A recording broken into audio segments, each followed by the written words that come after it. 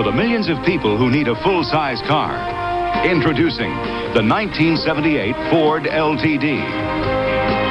If you need six-passenger space, if you need a roomy trunk, if you want mileage like this, then the full-size 1978 Ford LTD could be just the car for you.